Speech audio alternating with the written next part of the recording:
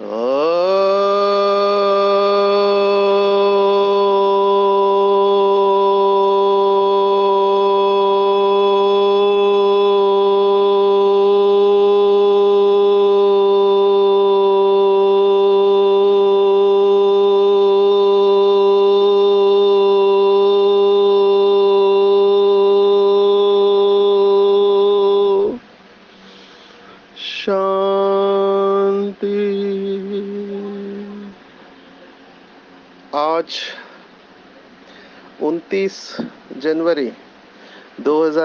2023 भारत में रविवार है। Today is 29th January 2023 and it's Sunday in Bharat आज की मुरली का जादुई रहस्य, स्वयं को प्रेरणा देने के लिए magical secrets of today's Murli for motivating the self कल विशेष दिन रहा भक्ति मार्ग का। आज संडे है, रवि का वार है तो कल सूर्य का दिन था। बहुत लोगों ने प्रश्न पूछे, रथ सप्तमी त्योहार। आप में से जिन्होंने भी भक्ति की है जो भक्ति में सुबह सुबह उठकर मंत्र पढ़े होंगे तो उसमें एक सूर्याष्टक मंत्र आता है। सूर्याष्टक मंत्र। सूर्य का मंत्र है, और उस मंत्र में सूर्य की महिमा आई है। सप्ताश्व, सात अश्व के ऊपर आरूढ़ ऐसे सूर्य और उसमें बताया है कि सर्व पाप हरम देवम, तम सूर्यम प्रणमाम्य हम बहुत सुंदर है। सभी बाबा की महिमा है तो आज भी सूर्य का वार है, रविवार है, आज अव्यक्त मुरली है, मास्टरी की मुरली है, मास्टरी। जो अच्छे बच्चे होते हैं, स्टूडियस होते हैं, नोटबुक और पेन लेके बैठ जाए, क्योंकि आज हम एक विशेष माला देखने वाले हैं। दो दिन पहले हमने स की माला देखी। आज बाबा ने अ की माला बताई हुई है। आज अ पे से 21 शब्द मुरली में आए हुए हैं। वैसे देखा जाए तो परमात्मा की शुरुआत भी अ से होती है, अल्फ़ाबेट। अक्षर माला भी अ से शुरुआत होती है। अलिफ अलिफ, या जिसको ग्रीक में अल्फ़ा कहा है, हिंदी भाषा में अ बोलते हैं। महाराष्ट्र में गीत है अकार तो ब्रह्मा उकार तो विष्णु, मकार महेश। तो ओम की भी शुरुआत अ से होती है। अ से अल्लाह होता है, अ से अलिफ होता है, अ से अल्फ़ा।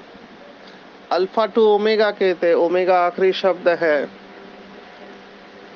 अंग्रेज़ी में ए टू जेड कहते हैं।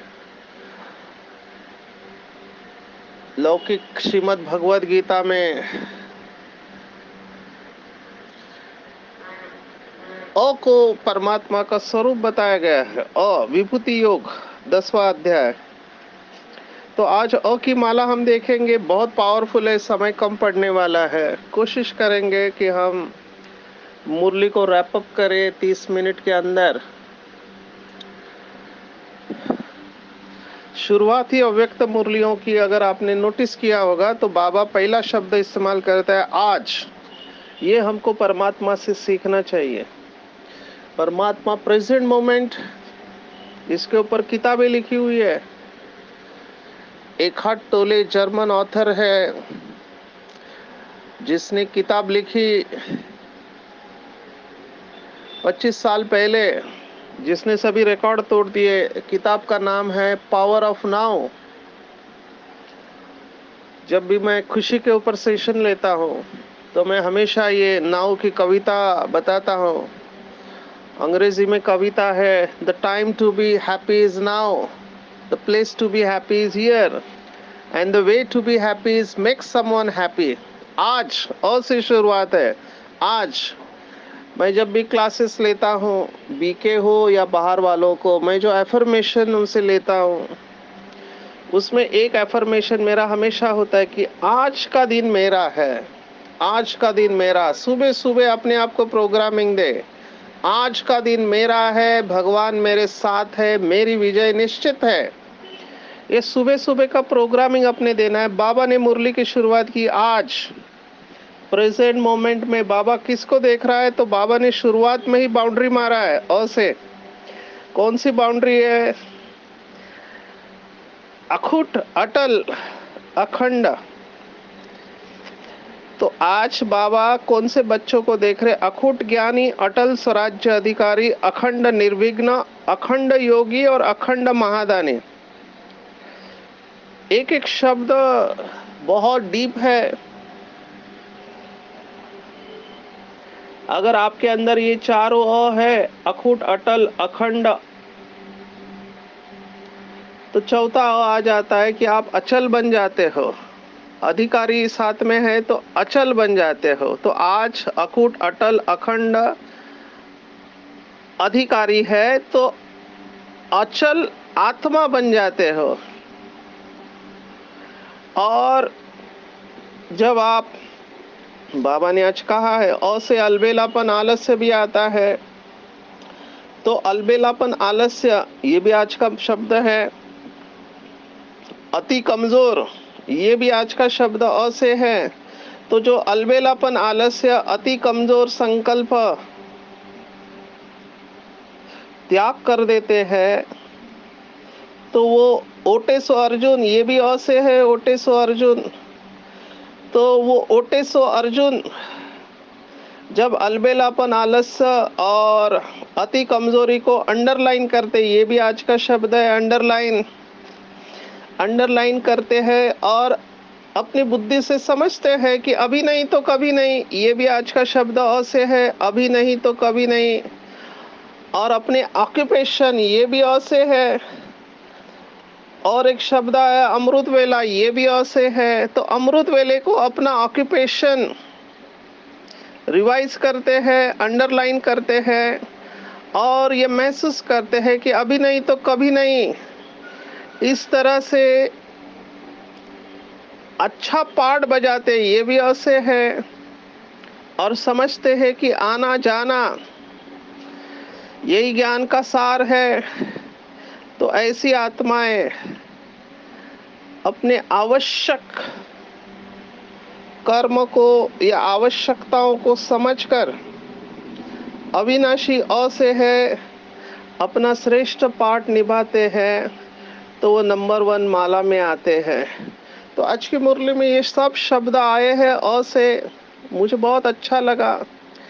अखूट अटल, अखंड अचल अधिकारी, अविनाशी आत्मा, अव्वल, ओटिसो अर्जुन, अलबेलापन, या आलस्य अति कमज़ोरी के संकल्पों को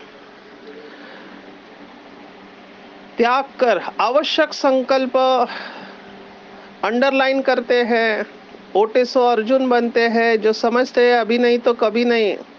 आना जाना ही सार है, वो अपना अच्छा पार्ट प्ले करते हैं, अमृत वेले अपने ऑक्यूपेशन को रिवाइज करते हैं, माया को आह्वान देते हैं और माया जीत, कर्मेंद्रिय जीत, जगत जीत बन जाते हैं। एक एक शब्द की गहराई में जाएँगे। अखुट अखुट शब्द माना जो कभी खुटता नहीं है। दुनिया में भी दानी होके गए बाबा ने कहा, द्वापार युग से बहुत दानी होके गए। दानियों की बहुत सारी कहानियाँ हैं, कर्ण को दानवीर कर्ण कहते हैं। लेकिन कोई भी ऐसा ध्यान नहीं कर सकता जो अखुट हो, क्योंकि सभी का दान कभी ना कभी खुटता है। राजा हरिश्चंद्र को भी दानवीर कहा गया, कर्ण को भी दानवीर कहा गया है। भक्ति मार्ग में बहुत भक्तों ने दान किया, लेकिन अखुट ज्ञानी और अखुट दानी केवल बाबा के बच्चे ही बन सकते। क्यों? क्योंकि अविनाशी खजाना है, जो कभी खत्म नहीं हो सकता। और अटल, हमारा स्वराज्य अटल है। अटल शब्द बहुत पावरफुल है। हमारे माजी पंत प्रधान इनका नाम था अटल बिहारी।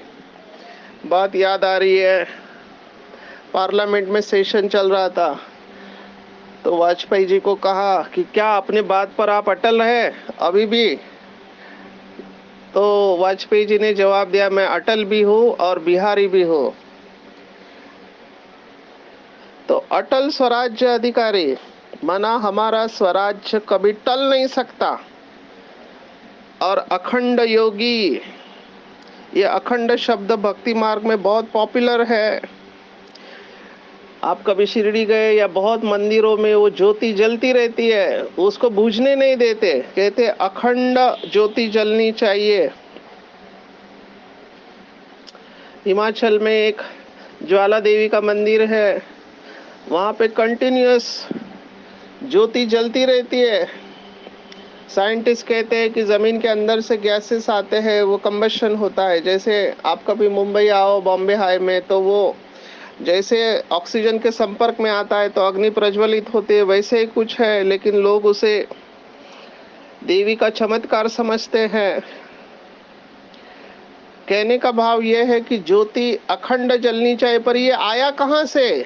तो संगम युग पर जो बाबा के बच्चे निरंतर अपनी आत्मा की ज्योति जागृत रखते हैं, उनका यादगार है। हमने पहले भी देखा, संगम युग पर हम जो कुछ भी करते हैं, उसका भक्ति मार्ग में यादगार बनता है। तो अखंड योगी बाबा ने कहा, खंड नहीं पढ़ना चाहिए, अखंड योगी। बाबा ने एक मुरली में कहा था कि मम्मा और बाबा, अंडरलाइन करेंगे इस बात को, मम्मा और बाबा ने सबसे ज़्यादा कमाई नींद में की है। आप सोचो, नींद में भी योग में है, और वो हट योगी इसके ऊपर क्लासेस लेते हैं। कौन सा क्लास लेते हैं? वो कहते हैं, निद्रा योग या योग निद्रा। योग निद्रा, वो समझते हैं कि हम कुछ सजेशंस देके अपने आप को जागरूक रखते हुए शरीर को सुला सकते हैं। ये योगियों का गायन है। थोड़ा बड़ा सब्जेक्ट है, इसलिए मैं कट शॉर्ट कर रहा हूँ। शरीर सोया हुआ है, पर आत्मा जागृत है। इसलिए सोना और जागना एक समान है। कई लोग ये प्रश्न पूछते हैं कि मम्मा और बाबा ने नींद को कैसे जीत लिया? भगवत गीता में हमने अर्जुन के जो भी छत्तीस नाम देखे, उसमें से एक नाम गुड़ाकेश है। संस्कृत शब्द है। इसका अर्थ घुंघराले बालों वाला भी होता है और निद्रा को भी गुड़ा कहते तो गुड़ा माना निद्रा का स्वामी अर्जुन, जिसने नींद को जीत लिया, ये ब्रह्मा बाबा का प्रैक्टिकल एग्ज़ाम्पल, बहुत सारे दादियों ने कहा कि बाबा निद्रा जीत थे। निद्रा जीत का मतलब ये नहीं कि सोना नहीं है, जो श्रेष्ठ योगी होते हैं। जैसे जैसे हमारी योग की अवस्था श्रेष्ठ बनने लगती है, हमारी नींद की रिक्वायरमेंट कम होने लगती है। अखंड योगी, अखंड महादानी। महादान में भी खंड नहीं हो। तो बाबा ने कहा, ज्ञानी योगी और महादानी सभी बाबा के बच्चे बने हैं, लेकिन अखंड कोई कोई बने हैं। और अपने को चेक करना है। आज फिर से बताया, माला में कौन आएगा? तो माला में वही आएँगे जो अखूट, अटल और अखंड है। अपने आप को चेक करके बता देंगे कि मैं अखुट हूँ, अटल हूँ और अखंड हूँ तो ही माला में आ सकता हूँ। तो बाबा ने हमको संगम युग पर ये वरदान दिया, अटल अखंड भव। ज़्यादातर वरदान चिरंजीवी भव होते हैं, माताओं को सौभाग्यवती भव का वरदान मिलता है। यहाँ पर भगवान का वरदान है, अटल और अखंड भव। लेकिन वरदान धारण वही करते हैं बाबा ने कहा, जो इसका अभ्यास करते हैं, सबसे सहज विधि बाबा ने कहा, अगर आप नंबर वन बनना चाहते हो तो अखंड महादानी बनो। और अखंड महादानी निरंतर सेवाधारी होती है। निरंतर निरंतर माना जिसमें कोई अंतर नहीं हो। एक सेकंड भी दान दिए बगैर रह नहीं सकते हैं। एक सेकंड भी दान दिए बगैर कैसे रह नहीं सकते हैं?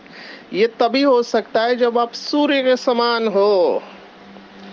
जैसे सूर्य का प्रकाश निरंतर प्रवाहित होता रहता है। हमारे यहाँ समझो रात हो गई, लेकिन दूसरे देशों में रात नहीं होती है, क्योंकि सूर्य निरंतर प्रकाश फैलाता रहता है। तो ये उन योगियों का गायन है जिनके द्वारा निरंतर प्रकाश फैलता रहता है। तो अखंड महादानी बाबा ने तीन प्रकार से बताया है, एक मनसा, एक वाचा और एक कर्मना। वाचा तो मेजॉरिटी करते हैं, मनसा कोई कोई करते हैं, लेकिन कर्मना में बहुत कम है और ये सबसे ऊँची अवस्था है। इस समय बाबा ने कहा, दुनिया वालों को या बी के भाई बहनों को सबको ज़रूरत है गुणदान की। गुणों का दान सर्वश्रेष्ठ दान कहा गया है। बाबा ने एक मुरली में याद है, मुझे कहा था कि जानकी दादी कर्मणा द्वारा गुणों का दान देने में नंबर वन है। हमको ऐसे नंबर लेना है। भक्ति मार्ग में प्रसाद का बहुत महत्व होता है। कहते, प्रसाद का एक दाना भी नीचे गिरना नहीं चाहिए और बांट के खाते हैं प्रसाद, अकेला नहीं खाते हैं। तो बाबा ने आज मुरली में अंडरलाइन करा ये जो दिव्य गुण बाबा ने दिए हैं, ये दिव्य गुण ही श्रेष्ठ प्रभु प्रसाद है तो प्रसाद को बांटना चाहिए। मधुबन में आप सब गए होंगे, जो भी बाबा के बच्चे, वो जानते हैं, मधुबन में एक टोली खिलाते हैं प्रसाद, जिसका नाम है दिल खुश दिल खुश टोली। बाबा ने नाम लिखा है दिल खुश। तो बाबा ने कहा कि एक दो में स्नेह की निशानी स्थूल टोली खिलाते हैं। ऐसे एक दो में ये गुणों की टोली खिलाओ। तो सहज फरिश्ता सो देवता प्रत्यक्ष दिखाई देंगे। इसके लिए अभ्यास क्या करना है? अभ्यास एक ही है कि मैं दाता शिव बाबा का बच्चा, अखंड महादानी आत्मा हो, चाहे ज्ञानी हो या अज्ञानी हो। मुझे कर्म द्वारा गुणों का दान देना है। कर्म द्वारा। और ये गुणों का दान देना माना सहयोग देना। मुझे बहुत अच्छा लगता है। कभी कभी तो सोचता हूँ कि एक एक गुण के ऊपर एक एक घंटा हम गहराई में जाए, इतना बाबा ने ज्ञान दिया हुआ है। हम विहासा करके जब सेशन लेते हैं, ये जानकी फाउंडेशन का प्रोग्राम है वैल्यूज़ इन हेल्थ केयर उसमें एक मॉड्यूल है जो पूरा दिन चलता है नाइन टू फाइव उसका नाम है कोऑपरेशन कोऑपरेशन माना सहयोग। तो बाबा ने एक मुरली में कहा था कि बच्चे नोट दो एक दूसरे को। कौन सा नोट दो? तो सहयोग का नोट दो। बहुत ज़रूरी है। बहुत ज़रूरी है एक दूसरे को सहयोग देना। अभी जब किसी से नाराज़ होते हैं, किसी से दुश्मनी होती है तो सहयोग नहीं देते हैं। एक दूसरे का विरोध करते हैं। ब्राह्मणों की विजय दो बातों में है। शिव भगवान आज। बाबा ने मुरली में कहा था कि हमारी विजय दो बातों में होगी। एक प्यूरिटी और दूसरा यूनिटी जहाँ प्यूरिटी है और जहाँ यूनिटी है, वहाँ संसार की कोई ताकत हमें हरा नहीं सकते है। तो दान दो प्रकार से देना है। एक जिस व्यक्ति को, जिस आत्मा को, जिस शक्ति की आवश्यकता है, उसको मनसा द्वारा अर्थात शुद्ध वृत्ति वाइब्रेशन द्वारा शक्तियों का दान और सहयोग दो। बहुत सारी माताएँ भाई बहने इसका अभ्यास करते हैं, क्योंकि घर में कोई ज्ञान में चलता नहीं है, किसी के साथ हिसाब किताब है, कड़ा तो हमको ये वृत्ति के द्वारा सेवा करनी है, हमारे वाइब्रेशन मैं हमेशा क्लासेस में यही बताता हूँ, जो बी के भाई बहनों के क्लासेस है, हमको किसी को भी ज्ञान सुनाने की ज़रूरत ही नहीं है। अंडरलाइन करेंगे, हमको किसी को ज्ञान सुनाने की ज़रूरत नहीं, हमारा व्यवहार ही प्रूफ है कि हमारे पास कितना ज्ञान है।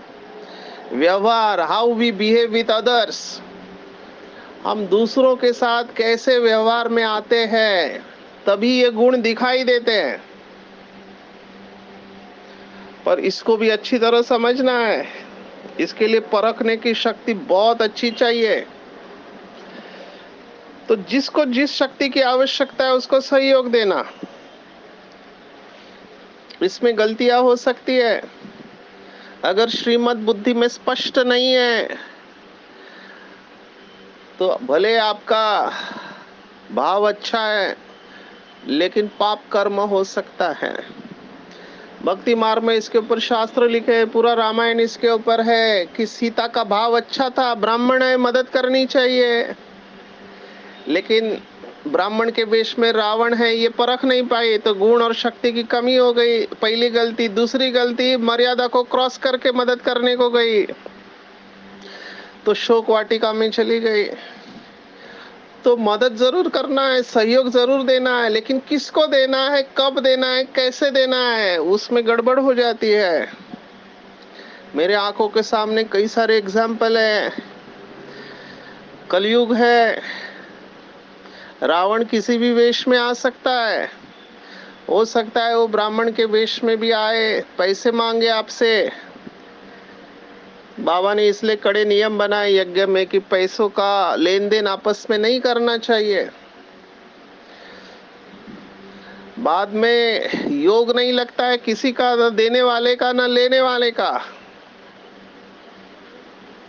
इसलिए लोभ से भी बच के रहना चाहिए। एक उदाहरण दिया कि क्या हो सकता है अगर हम गुणों को लेकर नहीं चलते हैं तो।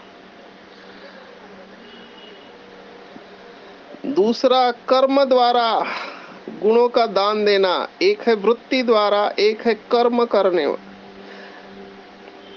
क्योंकि मैंने ये भी देखा है, बाबा ने तो आज स्पष्ट बोल दिया मुरली में कि कौन बना है अभी तक कोई बना नहीं है।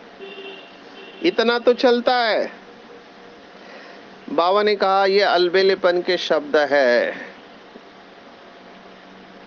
यथार्थ नहीं है। यथार्थ है, फॉलो ब्रह्मा बाप। किसी भी देहदारी को करके फॉलो नहीं करना, क्योंकि देहदारी अभी तक संपूर्ण नहीं बने हो। सकता है उनके अंदर अभी भी अवगुण हो। संपूर्ण नहीं बने तो परसेंटेज में रहेंगे सभी में। No one is perfect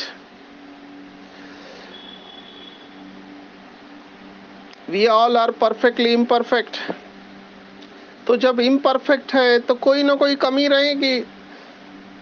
कोई ना कोई कमी रहेगी। तो हंड्रेड परसेंट तो परफेक्ट नहीं हुए लेकिन हम देख किसको रहे हैं? तो हमको देखना चाहिए ब्रह्मा बाप को। इसलिए बाबा का शब्द है follow father do not follow brother and sister और इसके लिए एक स्लोगन हम सभी बाबा के बच्चे ध्यान में रखते हैं। मुझे बहुत अच्छा लगता है कि जो कर्म मैं करूँगा, मुझे देख सभी करेंगे। इसको अंडरलाइन करेंगे। जो कर्म मैं करूँगा मुझे देख सभी करेंगे। तो let's be role model for others हम दूसरों के लिए रोल मॉडल बने।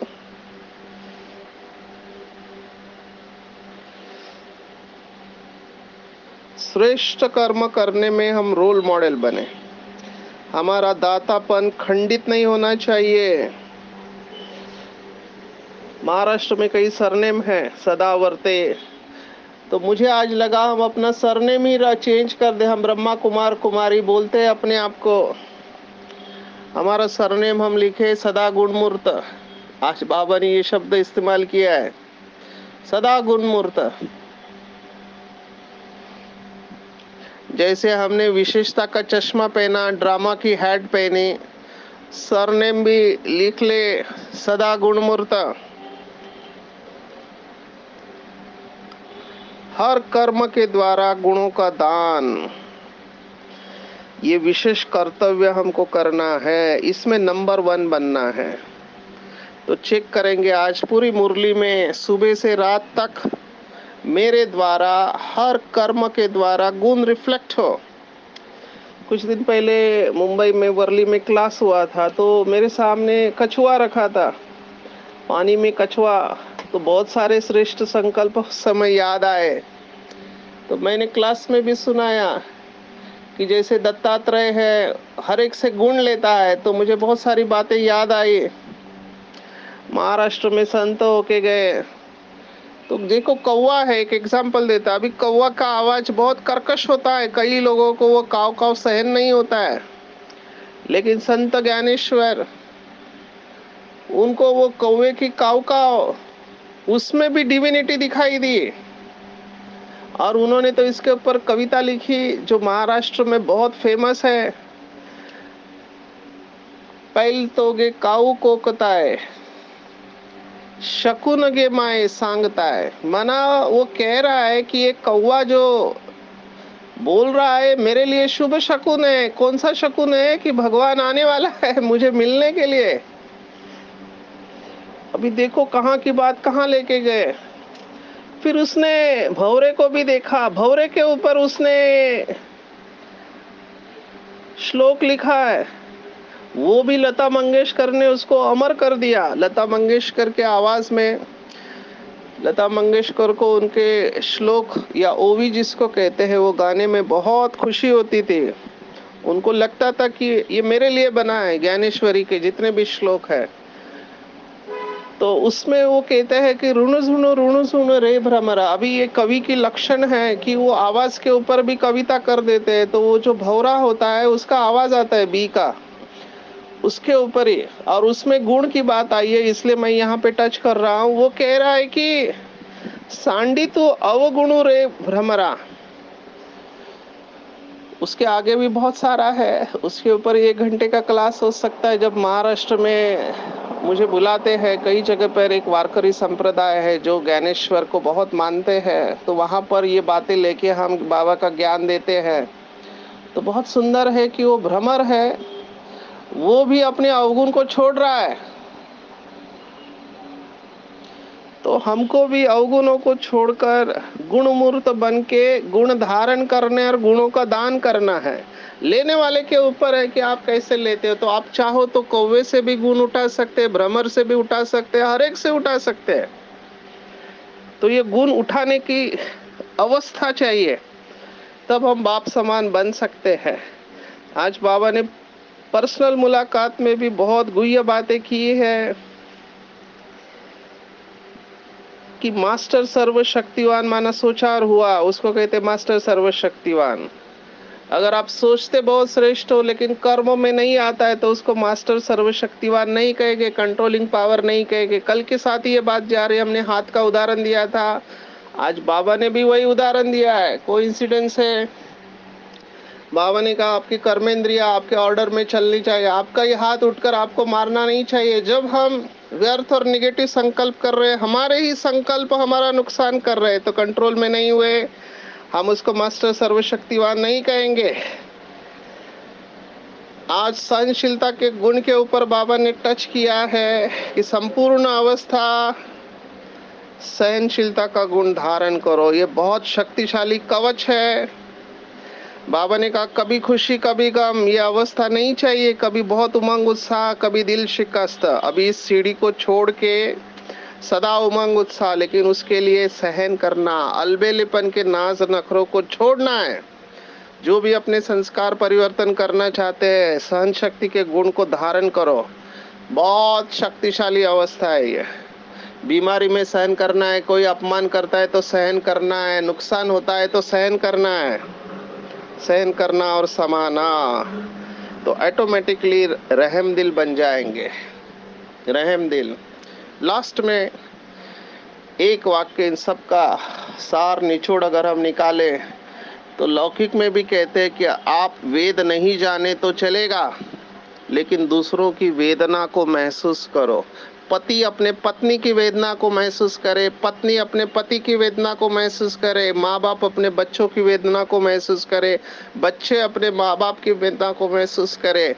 बॉस, सबॉर्डिनेट सबॉर्डिनेट बॉस, हर एक आत्मा की वेदना को आप महसूस करेंगे दिल से केवल रहम आएगा। केवल रहम।